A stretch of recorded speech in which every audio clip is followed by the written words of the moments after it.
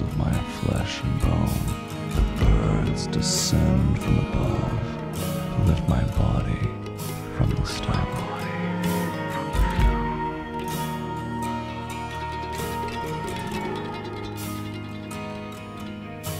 A fair trade, my clay for a soul, so pigeon thrives while I have passed. The mountain justly claims its toll to break the raptors fast.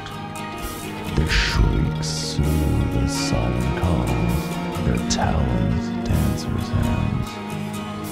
Why angels don demon shawls, it's not for us to understand. I glide in feathers and grace, their beaks beckoning the frost.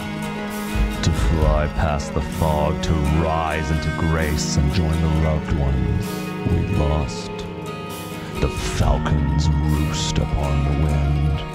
I meditate until the morn, absorbing times I've loved and sinned. At light, I wake